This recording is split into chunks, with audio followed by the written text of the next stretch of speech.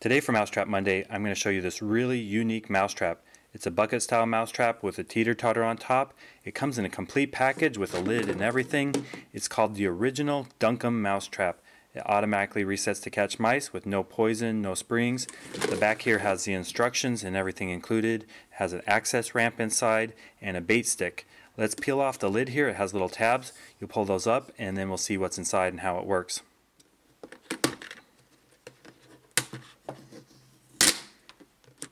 Those plastic strips are easy to peel off. That allows you to remove the lid. Inside we have the bait stick and an access ramp. It has a little clip on the edge which fits onto the bucket. That way the mice can climb up and enter the trap. You fill this trap partly with water and then you also have to bait it. Here's the bait stick here. You put the peanut butter right here in these holes but not on the end of the metal. That could cause it to stick to the teeter-totter mechanism. Now this bait stick fits in a hole that's under this American flag sticker. You peel that off and there's a hole. You just put that in once it's baited and the trap's ready to go. The mice will climb up here, walk on this teeter-totter and it feels really secure until they get halfway. Then it will tip forward and dunk them into the water and there's a lid here so that should help prevent them from jumping out. Let's go test this mousetrap out in the barn with motion cameras, see if we can catch them in the original Dunk-Em mousetrap.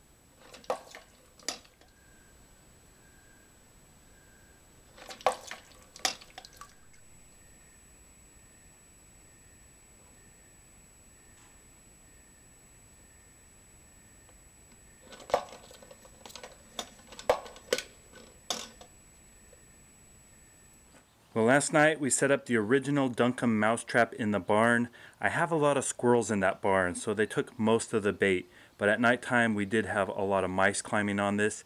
And if you look down in the water here, kerplunk, we got two mice. This absolutely does work. Now, I reviewed the motion camera footage, and what I saw is quite a few mice would crawl all around it, and some of them even tipped it, but were able to hold on and get out. Now you kind of expect that with these kind of traps. There's always mice that are extra agile. We, I call them the mouse ninja warriors and they can get out. But for the most part we did catch mice. So this trap does work. It's great for small spaces. You can expect a few to get out and once the mice learn that this tips they're extra cautious and it's really hard to catch the educated mice but it works great. They fall into the water and they drowned. So overall, I think this is a good trap. It's well built, quality material. It does catch mice, and it's great for small spaces. Thank you so much for the YouTube channel that recommended me testing this dedicated to RVing. So if you're interested in purchasing this trap, they sell it on their website, www.dunkumtrap.com.